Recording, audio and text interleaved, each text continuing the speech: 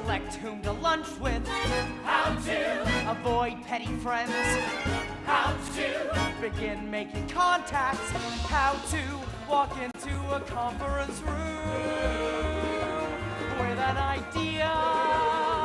You are doing a Broadway musical comedy. What made you want to do that? Um, musicals was something that I grew up with. You know, I, I, I, I've always loved listening to them, seeing them as a kid. You know, I was always brought to them. My parents are both huge musical fans.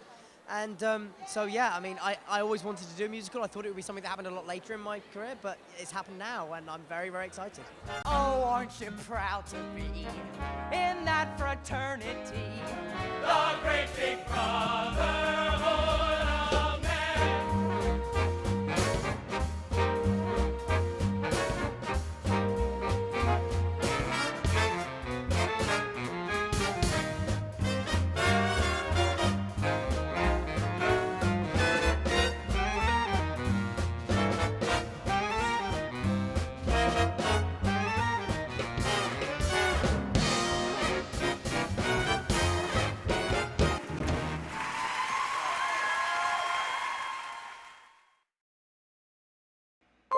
next hour, uh, Kenny Kleiber is going to be with us. And if all goes well, he's going to bring two very special guests with him. You know them as uh, Thor and Jackie. Yes, uh, Stephen Wallem and Edie Frickin' Falco, okay, from Nurse Jackie, are going to be with us. They're doing a new show called The, the New Steve and Edie. So uh, we'll talk to them when we return to The Frank Show here on OutQ Sirius 109 XM 98. Kenny Kleiber says Edie Falco and Stephen Wallem are going to be joining us.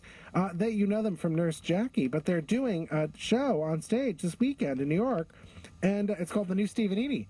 And, uh, and and then we're just going to play uh, Penny Can until they get here. It's Until really- they get here. He sees every musical and every play. He's on a first name basis with Liza May. He's a great white gay on the great white way. He's Broadway's own Kenny K. That's entertainment. yes, it's that time. Kenny Kleiber. Well, Frankie DeCaro, hi, and Doria. Hi, Kenny. Now, I you told us you were going to bring us some very special guests on the occasion of our seventh anniversary, which is in fact today. okay? Yes, yes. And and I thought, oh, when you told me who it was, I was like, oh yeah, right. Okay, that was kind of I didn't say that, but inside was He doubted oh, you, Kenny. Yeah, Frank, have I right. ever let you down? Wait, don't don't mention it. No, actually, it's but, no, you know. you no, it's okay. You haven't. So I just want to. I want to. Uh, s- so, can, without naming her name yet, is, is she listening? Um, yes. okay, this will be this trivia question to know if it's true. Okay. Who jazzed up the line? Can't you be a good Catholic for 15 fucking minutes? Who jazzed up that line from the script by adding the F word? Who did that? Rosemary April. It was not. Anyway, but that is Edie Falco. We know that, and she's there with Stephen Wallem, and I'm so tickled that they're there because they're the new Steve and Edie. Not only are they, yes, the I think the we've been you trying know, to avoid the word new. I, we're going with other. Yes, the, The other, other. Stephen Edie. Yes, which is There's nothing new about us. I'm sorry to say. You also That's don't want right. to burn any bridges, if you know what I mean. right. So as I mean, I don't know what I mean. Yeah, they're I still you did. working. The real, the other, the real Stephen Edie are still working. We don't want to bump So- them yet. as your as your anniversary present to both of you, I brought you Stephen Wallem and, Edie Falco, uh, who both are currently starring on Nurse Jackie, and also going to be in the other Steve and Edie this weekend in New York City. And so I thought, well, my gosh, we have to bring in the other Steve and Edie.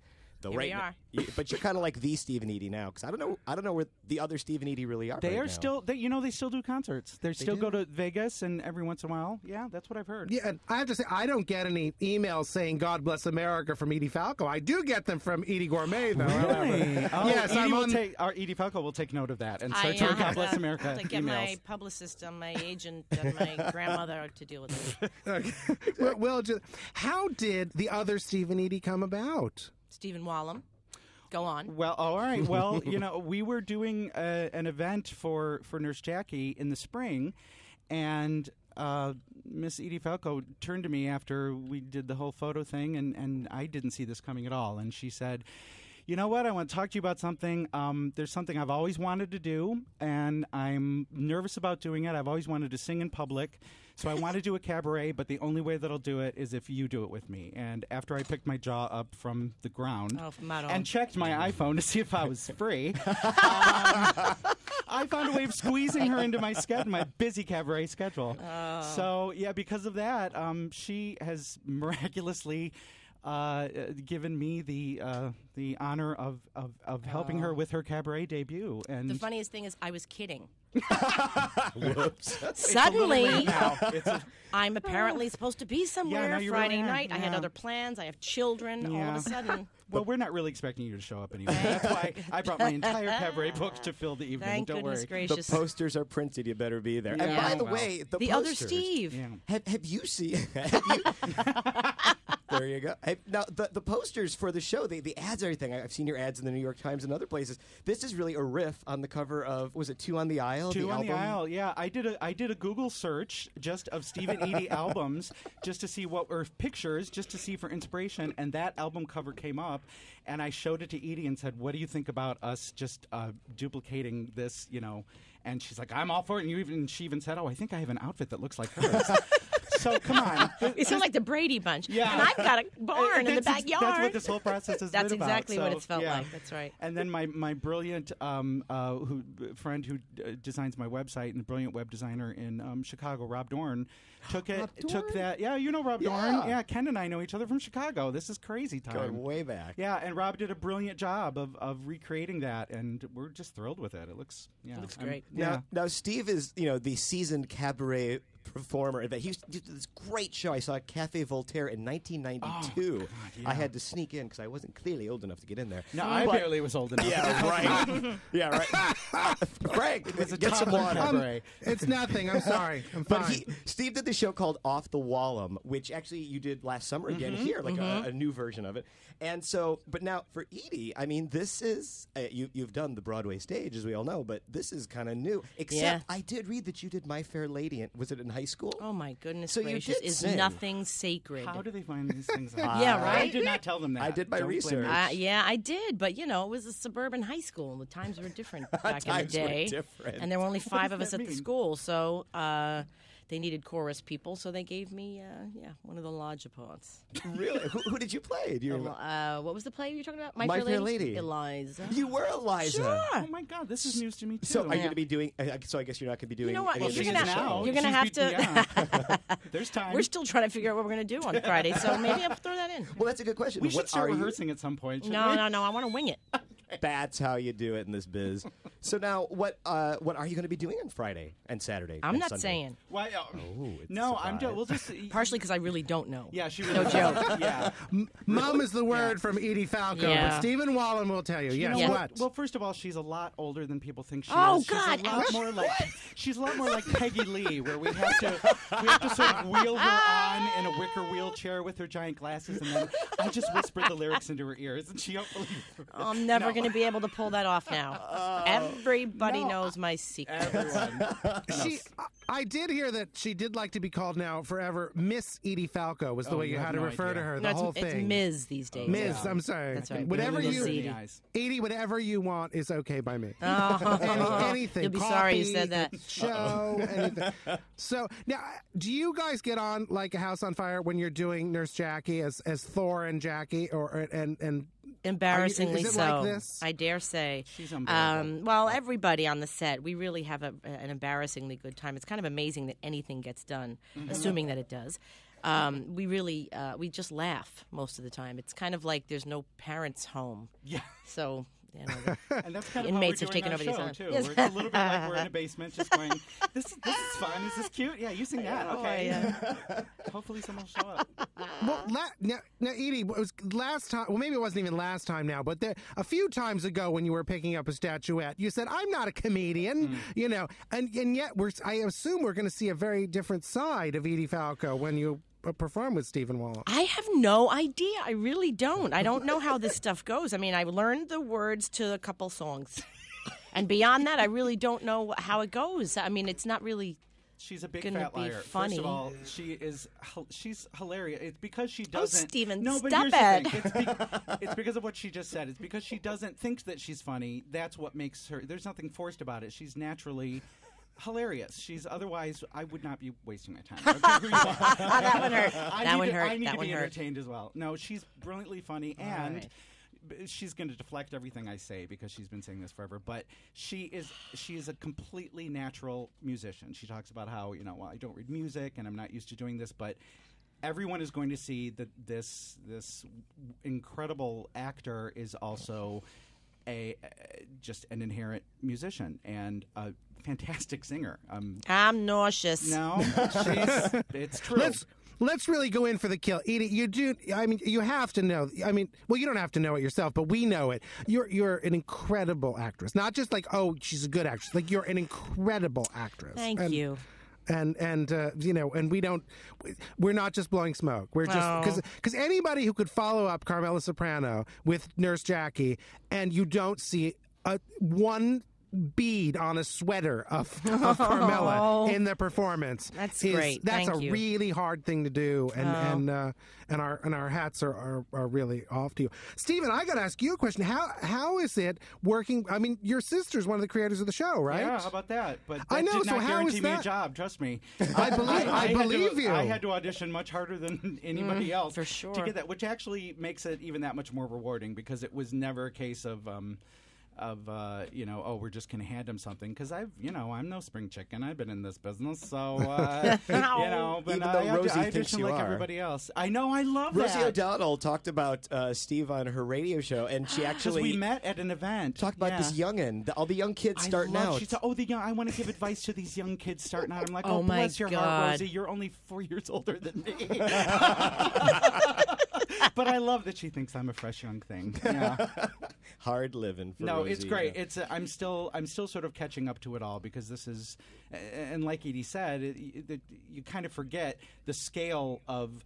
Uh, of the show and the kind of uh, you know the, the viewership that we have because it's it's such a blast on the set. You sort of you forget that it says, oh, by the way, this is going out to millions of people. You sort of you don't even think about that, and it's kind of shocking when I'm still shocked when people recognize me. I'm still getting used to that and realizing, holy cow, TV is unlike It's a whole anything other else. kettle of whole fish. other kettle of fish. So do people? So for both of you, do people actually assume you are these characters sometimes when they meet you? And do they say things that would be character specific, like "Hey, I'm going to give you some insulin," you know, or something like?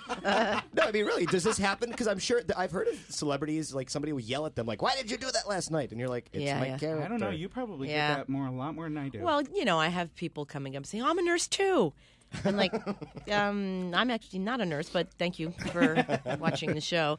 Um, so yeah, they had they want to talk shop with me when they, you know, if nobody's writing it down, I, I got nothing to say. So so. I, I have two aunts who are nuns, and they, and they watch the show. Where and fans like we all are, and and uh, the, the sort of bending of the rules is something they really relate to, and and uh, and and knowing them, I uh, you know it's uh, they were kind of infamous in the hospital that they retired from. did you say nuns? You said say nuns. Nuns. Frank? you said I have two aunts that are nuns. So we've been trying to figure this out Are uh, since you. nurses? so I thought you. I haven't seen this episode. Yeah, I, like, I go.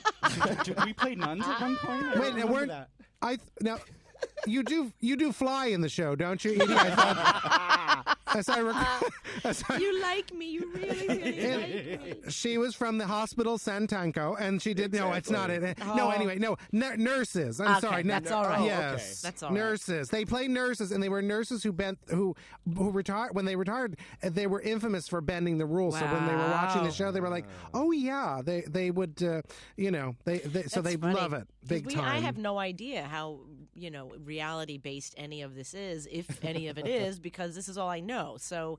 Uh, you know, it's nice to get feedback from anybody, frankly, um, but from you know from nurses who say actually this stuff goes on all the time. So Yeah. I have a friend who's a pharmacist at a hospital, and she says that the drug problems among the doctors and pharmacists is pretty holy staggering. mackerel! Which is scary. I, maybe I shouldn't be saying that, but that's what she told me. no, I, yeah, So well, she said it's pretty accurate. Well, there has So- been a lot of you know. Con- of course, every every anytime something new comes up, somebody always wants to make a controversy out of it. And Yeah. of course, there's you know from the day one. They're like, "Oh, how dare they show nurses in this light, nurses Right. in this light?" And Right. what Oh, really? Edie has always said in every interview is, "I'm not representing all. I'm going to speak for you now, if No, you don't please mind." do. Yeah, Thank you. I'm Uh, tired. yeah. she needs to take a little nap. Um, no, it's just uh she's not represent. Well, none of us are representing all nurses. We Yeah. are we're individual characters who happen to be nurses, Right, who happen to work in this who happen hospital. to work in this hospital, and we're all flawed, and everybody has flaws, no matter what field they're in. So.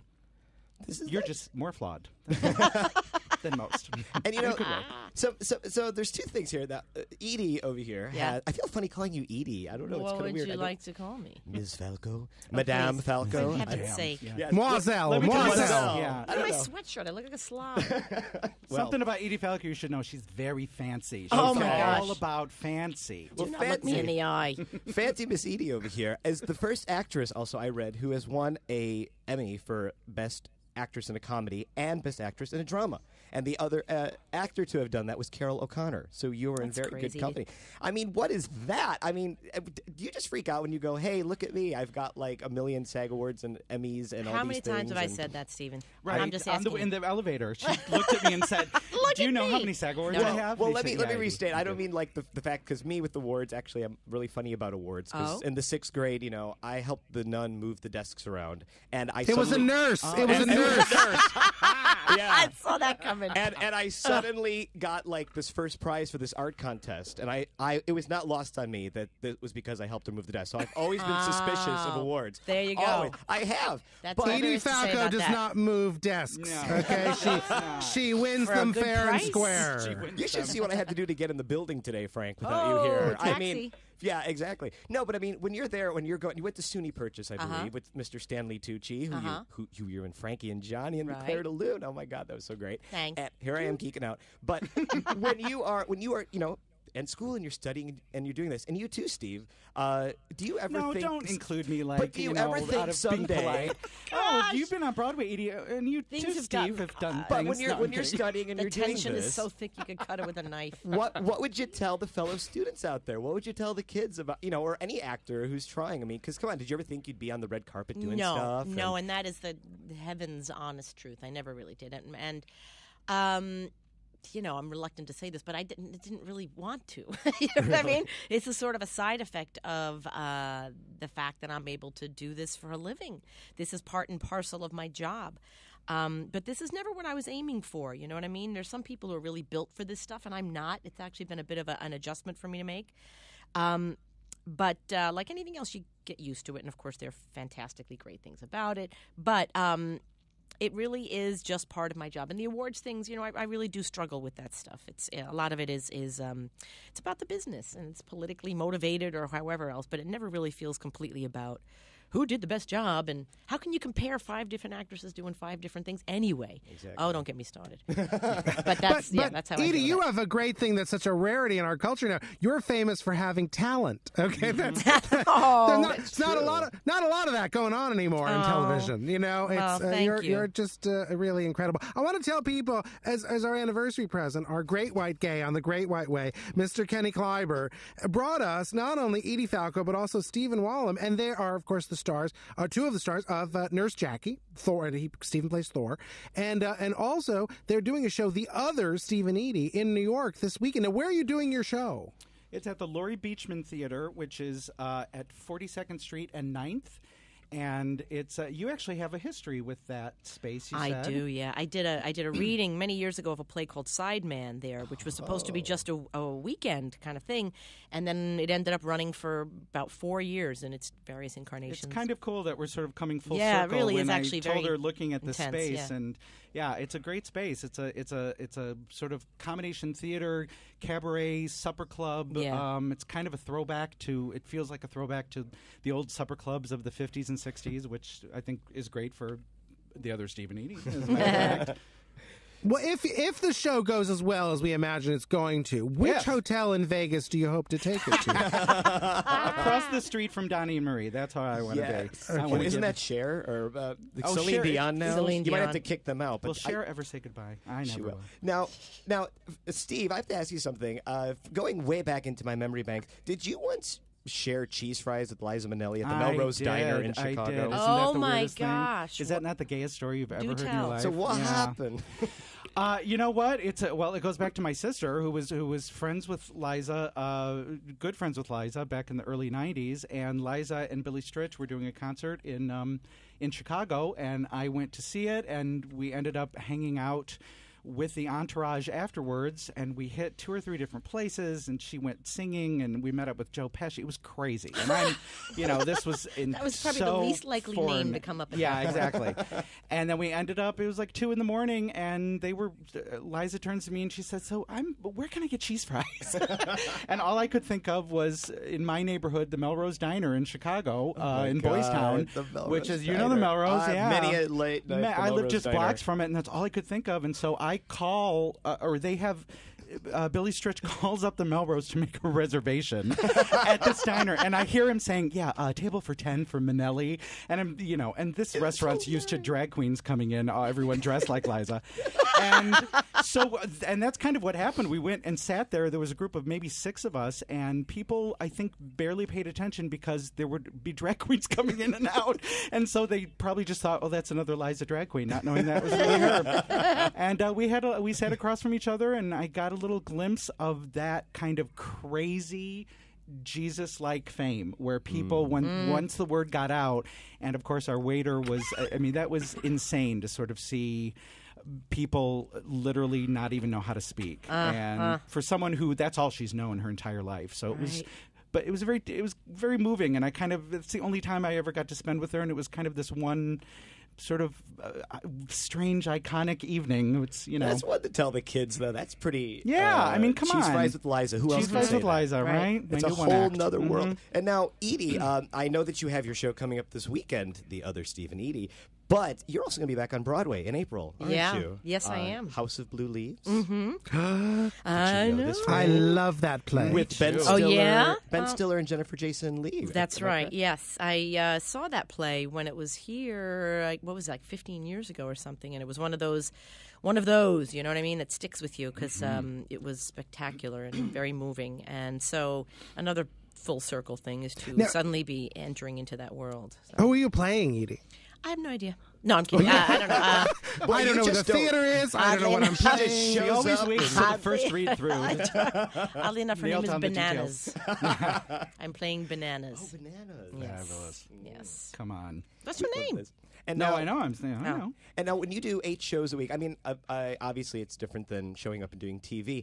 And I, even though I ask this all the time, I already think I know the answer. Do you prefer TV or stage, or is there not a? a There is, yeah. th- There, there is no, there is a difference, but there is no preference in my mind, Okay. just because um, they are part of the same thing. You know, I mean, they're part of this fantastically great thing that I get to do, and I'm lucky because I get to do both of them. You know, and if I if I'm doing a TV show for too long, I really start to miss theater, and by the end of a long run, I'm ready to you know do anything but that. So. Um, it's kind of a perfect situation. Now, when you were doing Night Mother, which I saw as well on, on Broadway with Brenda Blethyn, I always That's say right. the name wrong, but uh, that show, I mean, that's a hell of a show to get to, to sit through in the audience. Uh-huh. I mean, literally at the end, there was a woman who was sitting next to me who just howled. I mean, she ah, like she was sobbing, crying, howling at the end of that show. How do you psych yourself up for something like that? Well- and then, and what is the what is the, the breakdown time after every, every performance? No, if if uh, you ever get uh, the opportunity to meet Brenda Blethyn, it will all become very clear. She's one of the funniest women I have ever met in my life, and we started laughing when we met and stopped on closing night. We just laughed our fool heads off, uh, which I, I, you know, I'm sure is no accident that we were doing a play with some some gravity. uh that it all became about uh, cracking each other up. Really? Yeah, I mean, we knew the work had to be done and we had to tell the story, but uh, everything that was not a line in the play we were, was something we were doing to make each other laugh. So.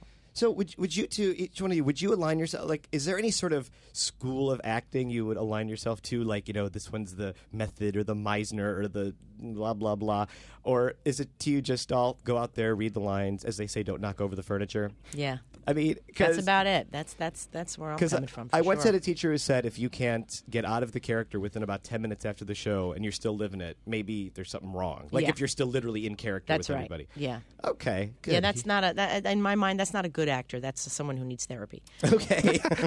yeah.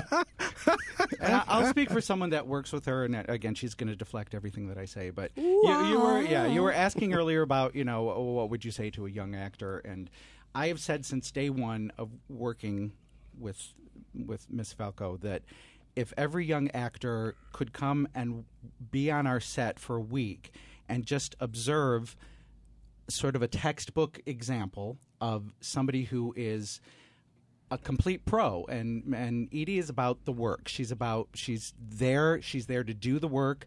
She is gracious and kind and funny and personable to everybody. And there's just I, have yet to see somebody say a, a, a negative thing about working with Edie ever. Because and you look at some of these younger actors that are so caught up in the fame.